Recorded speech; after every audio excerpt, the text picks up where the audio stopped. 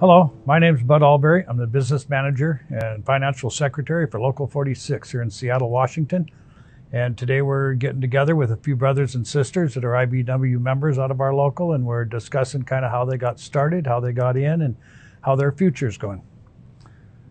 Luke, Yes. it's good to meet you and see you. Uh, Yeah, good to meet you too. give me kind of a background on how you got started to get into the IBEW, your kind of what your past was.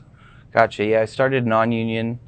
Um, was in a shop for about three years, and just wanted something better. Uh, I was working really long hours.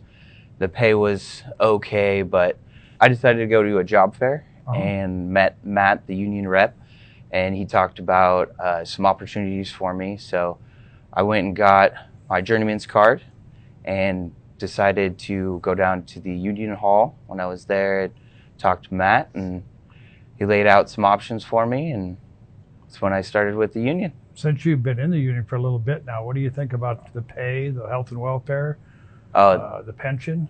Is it yeah. something you'd had before? no, I didn't have a pension. Um, I had some benefits, medical, dental, but not as good as IBEW. It's got a lot better benefits, and the pay is definitely better as well. So. Since you've been in the local and you're off time, do you donate any time to the union hall? Do you come to the meetings? Have you been to any of our picnics or anything like that yet? Yeah, I've been to one meeting before, but um, been in the union three months. Just got sworn in, Okay. so yeah, d- deciding to do some volunteer work with them. So So when you run into your friends from where you worked at before and stuff, Mhm. do you tell them how the opportunity really opened up and how much better it is for you? oh yeah, yeah, a lot lot better opportunities and more time with my family, which is great. And uh, yeah, And you're driving a service truck now for Allwire. Are you looking Mhm. at maybe uh, moving up higher even as a general foreman or running work for them or getting yeah, in yeah, definitely. Just kind of getting my feet in now, and eventually, you know, work my way up to something like that.